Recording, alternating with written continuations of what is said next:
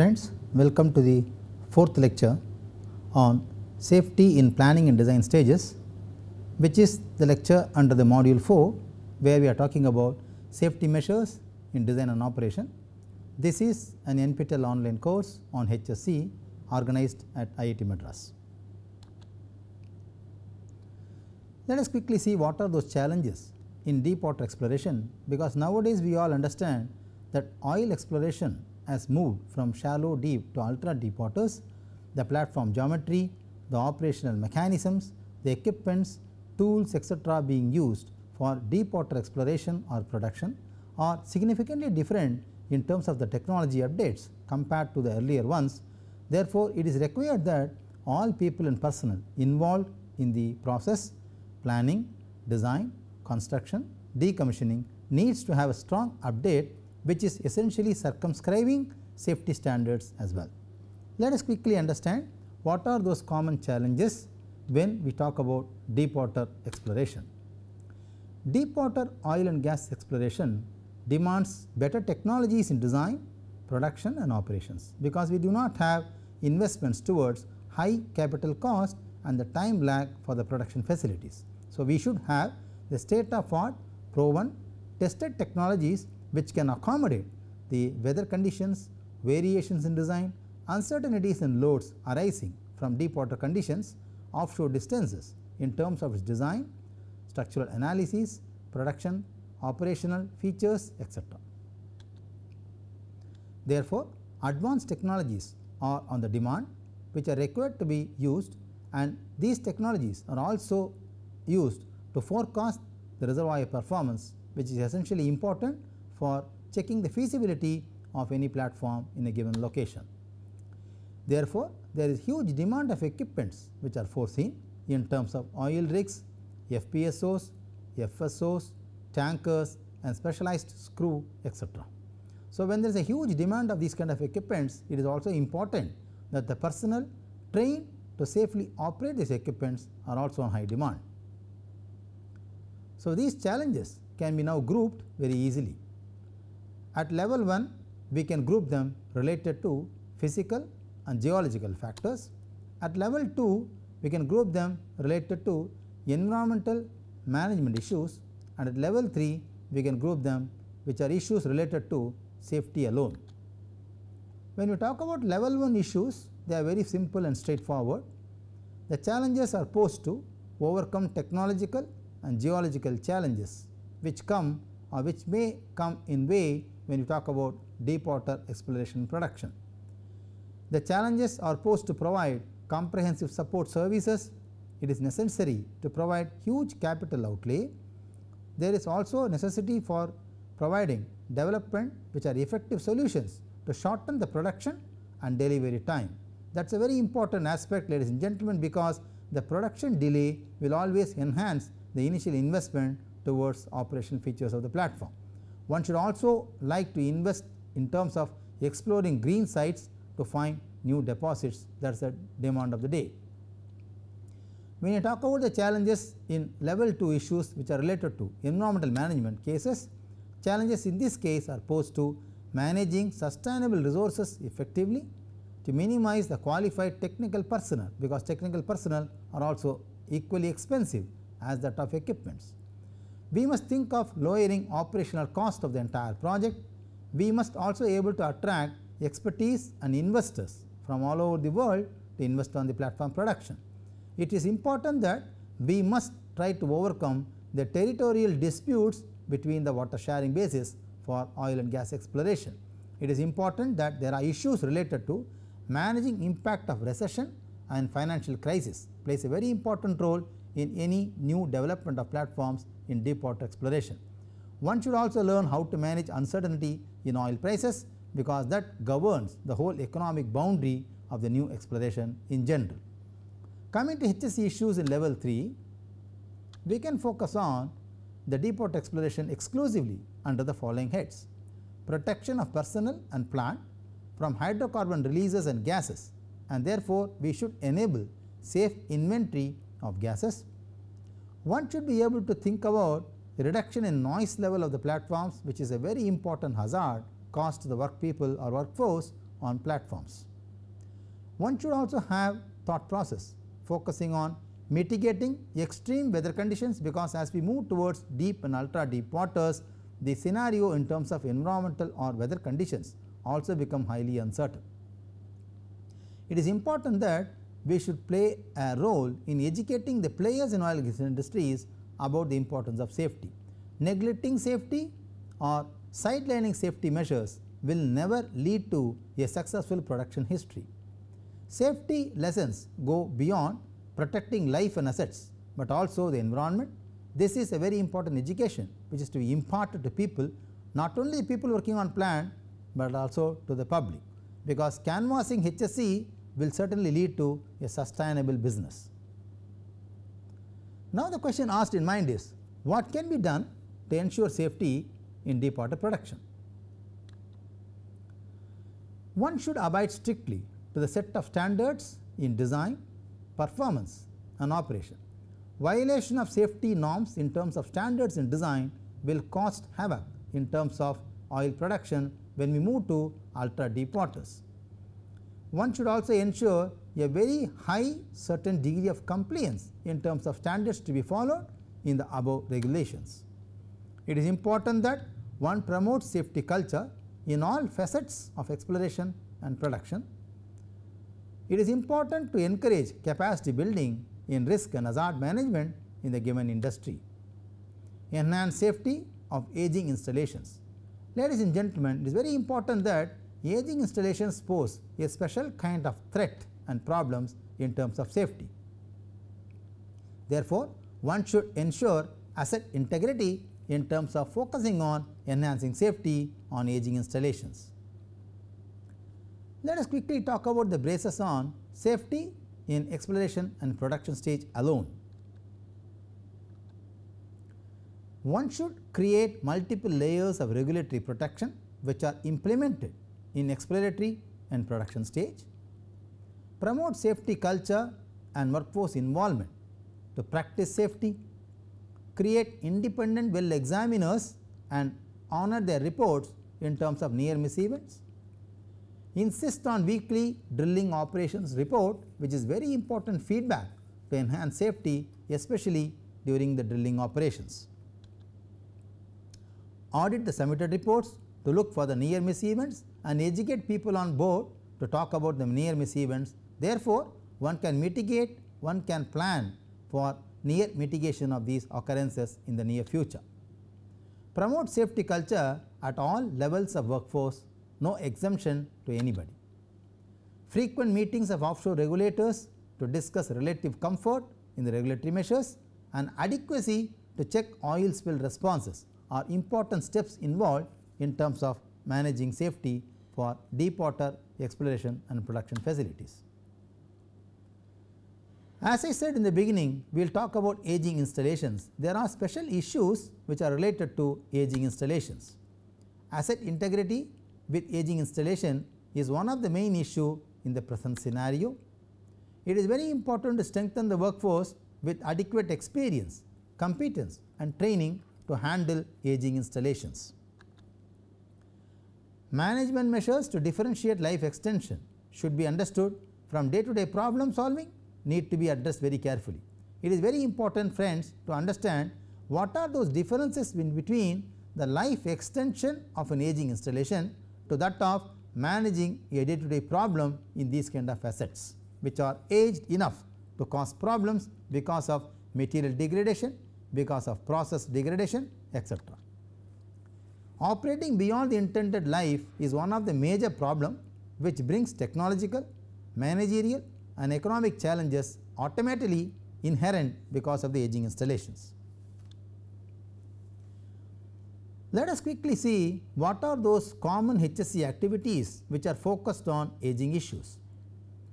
Detailed inspection programs are necessary and they should be implemented on aging installations by European Union etc this is a very salient example which the global standards can follow so that the aging installation inspections becomes very vital if we really wanted to improve safety standards which is one of the common practice in European Union in the present scenario. Technology projects on structural integrity, fire and explosion integrity and material degradation due to corrosion are evidences which are seen in the recent past which has shown high and huge investments in terms of understanding their deterioration processes on aging installations. Therefore, what are the key objectives of HSE towards aging installations? Principal aim is of course to ensure that the risks to asset integrity with aging and life extension are controlled effectively. Objectives of this program should be to raise awareness for specific consideration of aging and life extension issues, to identify shortcomings and enforce appropriate remedial action, to develop common industry approach which is very vital in terms of HSE management especially on aging installations. A basic and fundamental question comes in safety is how to improve HSE culture by and large in operational plants. Friends, it is important that one of the most successful method seen in the previous practice is to adopt minimum industry safety training what we call as MIST. Friends, it is important and you will agree strongly that industrial safety training is a very vital part of enhancing, practicing, implementing and deriving benefits from safety implementation programs. So, one should be sure that minimum industrial safety training is imparted to all personnel working on board as well as public near around the plant. MIST applies to two group of workforce namely one is the training and assessment for new entrants to the industry. The second is training and assessment for existing experienced workers. Friends please understand the second point is more important. It is not that you are experienced therefore, you can be exempted from training and assessment. There are different modules of training and assessment which are imparted to people who are experienced in comparison to the people who are new entrants to the plant. Therefore, MIST is applicable to both set of workforces. Let us now focus on what are those or what could be those areas of training where these people can be imparted. Knowledge on hazardous offshore environment is a very vital and basic knowledge to be imparted to these people. Knowledge on safety observation systems is very important because every equipment used especially in offshore production come with lot of safety inbuilt inherent safety. One should know an updated knowledge on these safety observation systems in terms of signs, alarms, signals, warnings, sirens etc., as a part of the safety program implemented to these workforce personnel. Understanding risk assessment process is also a very important educational level of understanding which should be imparted to these people. Understanding tasks that require permit to work is a very vital area because most of the accidents happened because this permit work culture is even moderately violated. Understanding personal responsibilities in maintaining asset integrity is an inbuilt culture which should be promoted in almost all oil and gas industries if we really wanted to ensure asset integrity management. Using manual handling technique every day is a very important issue. People should follow the instructions given in the manual for equipment handling. They should strictly abide to those instructions and safety precautions given by the manual or by the manufacturer strictly in abundance. Controlling use of hazardous substances offshore is one of the vital strength which can be ensuring safety practices in offshore industry. Knowledge and practices of working at height is also nevertheless important. Knowledge about mechanical lifting activities is imparted to people working on board especially on crew members which is a very vital responsibility on the management side to impart very trained personnel to use mechanical lifting systems on board. Now, one can ask a very interesting question from the managerial perspective what would be the deliverables or the results or visible outputs by implementing minimum industrial safety training to the workforce personnel on board. It essentially helps to address legal compliance that is most important. It meets employer responsibility for ensuring that employees are trained and they are being made competent for this respective job.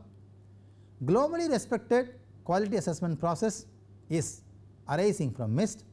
MIST gives you a robust assessment which has verifiable and traceable records in terms of training. The second interesting benefit which is drawn from implementing MIST is that it enables employers to set standards for workplace, improving safety, improved competency, improved efficiency and therefore improved protection to the environment are ensured by implementing MIST in your workforce. The third benefit could be it enables to achieve global standards dear friends. It creates ease movement of labor both in and out. There is a common workforce which can be shared by different industries in the world because all of them are equally trained and all of them are equally competent. It removes duplicate training and therefore reduces cost significantly towards intensive training.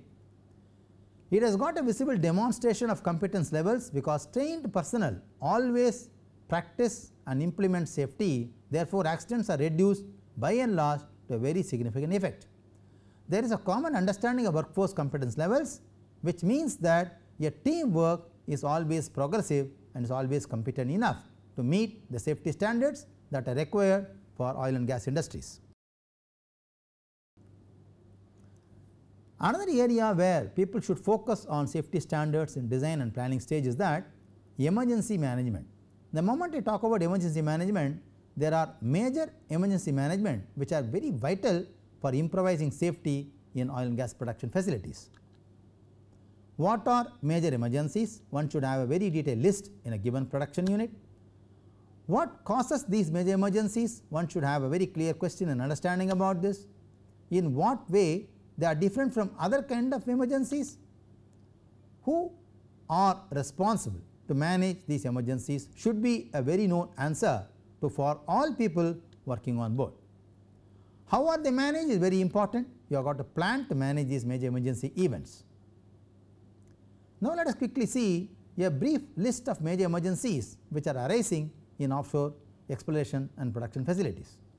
Fire, high pressure oil and gas leakage may be hydrocarbon, hydrogen sulfide etc., well blowouts, increasing annulus pressure, blowout preventer leakages, export gas line rupture, export cooler line rupture, short circuit on high voltage equipments, structural collapse of the system, emergency arising from dropped objects, emergency arising from man overboard, emergency which comes from chopper crashing, which comes from vessel collision, which also comes from extreme weather conditions like earthquakes, tsunamis, hurricanes etc. and of course, most importantly not the least terrorist attack using explosives and sabotage. Once we understand what are those minimum industrial training to be given to people, why are they important, what are the benefits derived from implementing minimum industrial training standards to my workforce and how to manage major emergencies, then the major focus comes towards loss control measures. Ladies and gentlemen, it is very important in offshore industry, risk and reliability are closely associated to the cost factor arising from these benefits. Any risk which does not cause financial loss is not important in oil gas industry. So, loss control measures becomes very important because this is an economic parameter which guides what is the investment towards risk mitigation or risk propagation control techniques available in the industry. So, what are those loss control measures which can become a focus in oil and gas industries? Risk assessment and insurance coverage is one foremost area. So, it is important that they are highly vulnerable environment, it needs proper risk management, the competent risk survey needs to be conducted, identifying hazards, causes, consequences, mitigation means, equipments affected all should be detailedly understood and studied and examined. Estimating potential loss which arise from waiving of these standards is very important. You must be able to establish risk levels in all scenarios and recommendations should be made for continuous improvement of safety implementation standards in the industry. Now, the question comes if risk is undesirable, can we talk about risk mitigation methods? Provide adequate systems to prevent initiation and escalation of risk problems, ensure good flow of transparent communication between the workforce on board, impart high level of training and employ only competent personnel to do a specific job, conduct mock drills periodically which will help them to manage all possible major emergencies. It is important that please ensure 24 hours readiness with the workforce to mitigate or to manage or to address preparedness related to emergency exigencies which can happen in the plant any time.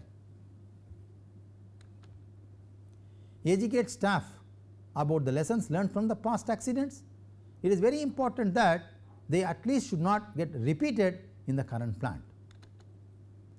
Create smart workforce to notice instantaneous changes in various items like structural loading, process deviation, crew management etc. because anything which is preventable is always acceptable in risk mitigation methodologies.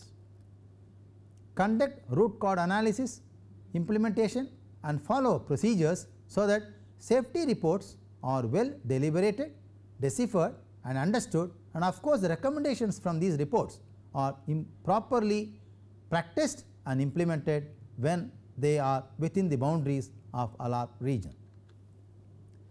Check for degradation of safeguards because every equipment as I said will come with a safeguard mechanism. However, they can get deteriorated in due course of usage and time. Therefore, check for the degradation of the safeguards and keep on updating them over a period of time. Consider practical and economic feasibility before you advise any recommendations for safety audits. Non-conforming safety is an offence. This culture should be promoted. Check for any exceptions and do not allow any exceptions on violation of safety culture on board. Avoid leaning on safety violation and temptation. Conduct loss control tour segment wise, section wise, operation wise and area wise because this is one of the industrial area or important segment where safety culture can be brought down to its highest implementation standards if you make people to understand what are the losses which are foreseen because of violation of safety norms. Do not compensate and compromise on slow progress and unplanned shutdowns by reducing safety steps in a given process. Of course, very important increase the number of decision makers in critical decisions involving safety violations. Now, let us summarize very quickly what are the important steps which is to be followed in terms of safety in planning and design stages. Wherever disasters happen, please check for the following. What was the safety norms followed prior to the disaster? How risk assessment was done in this case of the plant? What are the mitigation reports which are prepared based on risk assessment and have they been implemented in terms of their recommendations. Please check for these questions and try to answer them wherever disasters happen in the industry. The second step could be wherever results of risk assessments are available in of a very high standard check for the following. Please ask a question is it guaranteed that disaster will not reoccur in the same plant? If so reassess the risk scenario and reinvestigate the plant for more intrinsic hazard process hazards in particular. The third could be visualize post scenario and prevent in the time lapse cost because of this nullify probability of major disaster than to face them. Improvements in safety measures should come from the industry and not from the stakeholders. Rules are needed than proposals prescriptions and references. Friends, in this lecture we talked about a very good summary about what are the different steps which need to be practiced to ensure safety standards, what is minimum industrial safety training, what are the benefits, what are general major emergencies which come from offshore production facilities, what are those challenges which come from deep water oil exploration and so on. I think this summary will help you to put safety guidelines in planning and stage guidelines etc. Thank you very much.